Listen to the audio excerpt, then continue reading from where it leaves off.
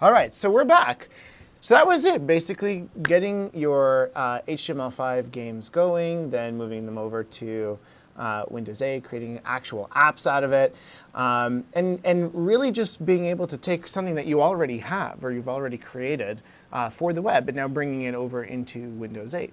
Which, of course, the beauty of it when you do something like that is that you can now package that up as an application, ship it up into the Windows Store, put it into your developer movement, and boom, now we have points. So there you go.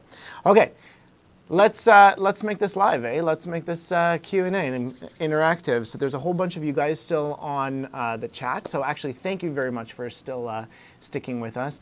Before I forget, since I'm notorious for forgetting. Right above the player, you have that eval link. If you don't mind, um, make sure you fill that out before you uh, leave us today um, so that we have that eval um, and your comments uh, from today's session. Okay, so let's uh, see what we have on here. Uh, gentlemen, first of all, thank you very much for everything uh, today. Patrick, John, much appreciated for actually going through all of this content with us, answering all the questions, going through all the code. Uh, even some of it was ad hoc, which was great. Uh, so thanks so much for that. yeah, sorry about that. Oh, no worries. That's the beauty of doing a live event, right? And like, uh, it's been a while since we worked on Yeti Bowl, but it was definitely one of our favorite projects at Tag. Mm-hmm. Yeah, it's definitely good to just let people know our knowledge and share it with the world. So, but. Cool. And, and so actually, the question I have for you guys um, before I go to the questions in the chat is when you think about it from a developer's perspective, um, other than obviously uh, putting another application into developer movement, getting points, so on and so forth.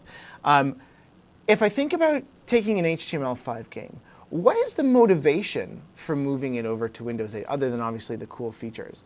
But if I'm considering it, like what should be that moving um, factor for me, or that moving decision that I should be like, yeah, I'm going to take my HTML5 game and move it over to Windows 8?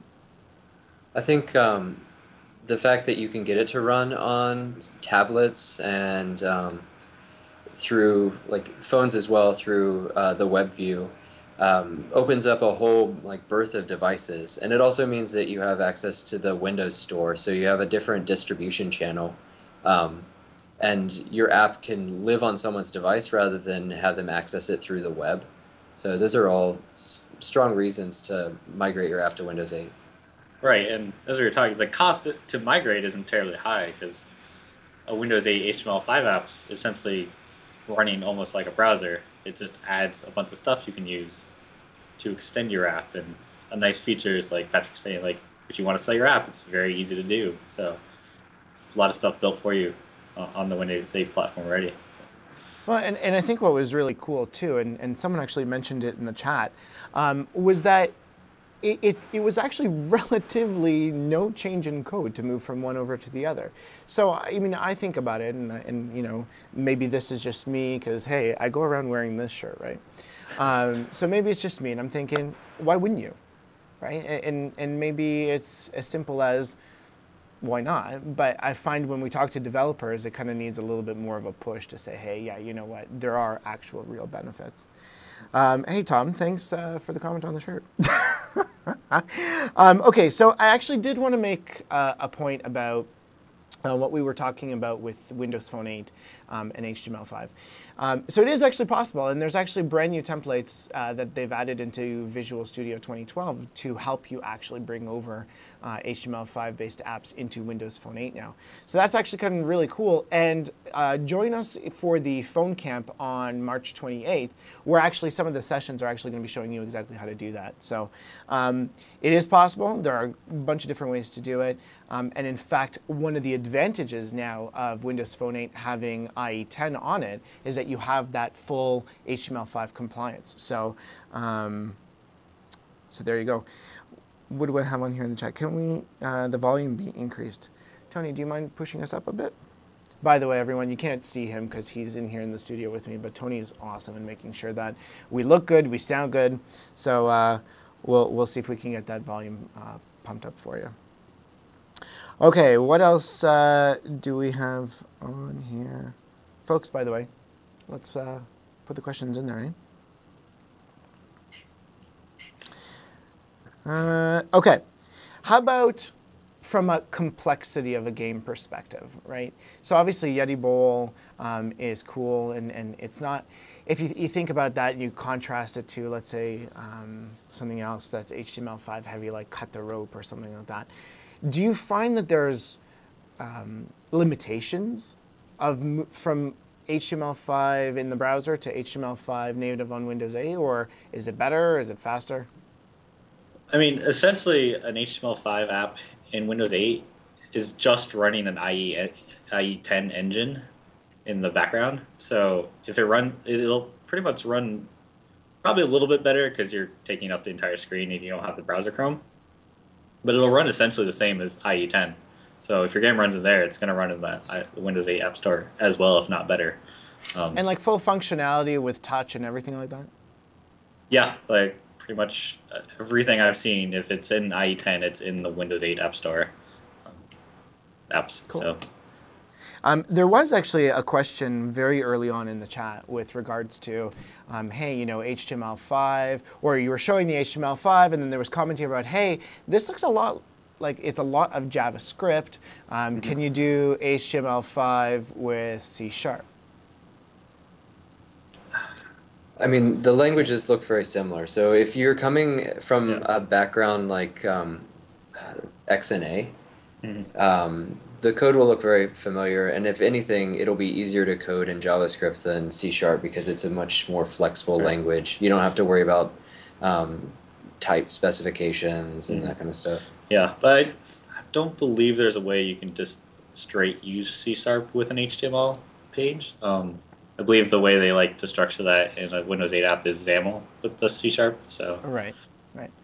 I've actually seen um, some people like on the on the web, right? Obviously, use HTML5 from a visualization perspective within ASP.NET pages. But again, that's for the web. It's not Mhm. going to work on the Windows 8 side because you're right. It is in fact um, XAML C Sharp or HTML5 and JavaScript. It's not mix and match. right, yeah, yeah that's pretty much the structure they've laid out for you. Of course, you could do like a C sharp with a web view, you pulling in HTML5 and crazy stuff like that. But I don't know if I'd suggest that per se unless you're doing something really crazy. But Oh, there was a comment. I, I love that. Thank you, Tommy. Uh, Tommy puts in the chat if you're interested in building Windows 8 games using HTML5 or Unity 3D, make sure to follow Tommy Lee on Twitter. And if Tommy was actually in the studio here with us, he would be like, yeah, that's Tommy Lee, but not the Tommy Lee that you're thinking about. Um, Casey says, I want to use voice tech in my app. What is the ease of use with that in HTML5? Um, so, not necessarily in HTML5, definitely in the, the Windows 8 app, there should be, like, in the last section, I was walking through a lot of the, the Windows APIs um, to get, like, contacts. There should be stuff to, like, pull the microphone the same way. So, as long as you're using a Windows 8 app, not necessarily, like, IE10 or anything, you should be able to pull into some OS specific Windows API there and grab the, the microphone stream right in the app. I know it's I- fairly built Actually, in. sorry. I, I was just going to add in there. Um, that reminds me, one one of the things that a lot of um, people kind of forget when they're starting to think about HTML5, JavaScript, and all that kind of stuff. Even though it's JavaScript, in the Windows 8 world or in the Windows Store apps world, you still have access to all of the um, APIs of the actual OS through the WinJS library, right? So don't think that just because it's HTML5 JavaScript, which you're used to technically running in a browser, when you bring that over, it, um, you know, like John said, it's not running in a browser. So you still have access to all those APIs the same way that you would have from uh, C Sharp. Right, correct. Yeah, they're just slightly different calls, so but it's almost a pretty close identical APIs you're going to be using between C Sharp and JavaScript provide it for you. So Um, what about making uh, 3D game or 3D style games? In HTML5, uh, uh, the performance I think is um, just not going to be a, like because 3D in HTML5 is done through WebGL. Right? yeah, traditionally that's the path people have been going. Yeah. Um, yeah, I would I'd say if you're going for a 3D game, unless you're going really weird tricks with like how like the old Super NES games did 3D, um, I'd probably try to steer towards more C Sharp XAML because um, they give you more access to the graphics rendering. Um, and right, WebGL is really cool, but it's not supported in the Windows 8 world. So yeah, nor is it supported in Internet Explorer. So yeah, you know. Now here's something for me because I am that C or uh, the XAML C sharp kind of guy. If I were to switch over to this world, um, you know, the HTML5 JavaScript world, what's that learning curve like? Like, where do I where do I start in actually getting into this world? Is it more learning the HTML5 and make something work for a web browser, then move it to Windows 8, or um, just forget about the web browser and do Windows 8 first and then bring that into the browser? I think definitely like starting with building web pages is a, like a really good place because you get an idea of all of the different um, options out there for you. Like um, building out DOMs uh, so that you can like structure a web page, like the styling. Um, although uh, for Visual Studio, one of the great things about it, the Web Express version, uh, you can build a web page in it and publish it like from the IDE. So it really makes the workflow nice and simple. Yeah, and I'd say between C Sharp XAML and HTML5 JavaScript, a lot of the architecture patterns are going to be similar. So you're going to have, instead of your HTML5 page, you're going to have your XAML page. And they're both just like the view. And then to do all your logic behind, so your .cs file, you just replace that with your .javascript file or .js file. So it's really like, it shouldn't be a steep learning curve if you're proficient in one to the other. So Oh yeah, and definitely if, if you're used to XAML, like HTML, the markup is almost identical. Mm-hmm. Yeah. It's probably a little more it can get you in trouble, but it's probably a little more free too, like like change stuff. Like XAML's a little more like strictly typed and stuff. So cool. And and actually, since we're talking about this, and you guys were talking about Visual Studio, one of the biggest biggest sort of um, trying to think. Uh, thoughts about Visual Studio is like Visual Studio and web editor like totally like this, like having nothing to do with each other. So there's been several um, enhancements, upgrades, so on and so forth for Visual Studio to be able to do really cool web stuff, um, HTML5 stuff in Visual Studio. How do you find that experience? Do you find that you have the necessary tooling and Visual Studio is pretty much the only thing that you need to use, or um, there's still a little bit of something else that you need in order to uh, to do your games, and then especially when you move it over uh, to Windows 8? The profiler. Yeah, I'm, I I pretty much never leave, leave Visual Studio now with Windows 8 JavaScript HTML5 apps. Um, 2012, they've added a pretty good JavaScript editor, so you get like your IntelliSense a lot, which is obviously an awesome feature. Um, there's a really great profiler in there now. Um, so since we're working with game apps, like obviously that's very important um, for performance reasons. Um, and then the most recent thing that they had, even added like the memory profiler, so you get to see like all the the memory you're consuming and which objects are created. So pretty much, I found like at this point, it's really equivalent to Chrome in like all the developer tools they offer you. So which is pretty much the standard in the web development field right now. So. Well, you guys heard it from them, right? They're uh, even though they're on uh, this webcast and they were talking about cool Microsoft things, they are not Microsoft people. So, um, you know, if I were to say, you guys were like, yeah, okay, fine, whatever, you're a Microsoft guy, but these guys are using it. Um, you know, obviously you sound happy, so uh, give it a try. Let's see what else we have here uh, in the chat. Uh, uh, believe it or not, I think we fielded all the questions. Okay, well, how about this? Um, it is a good time to uh, let you go home.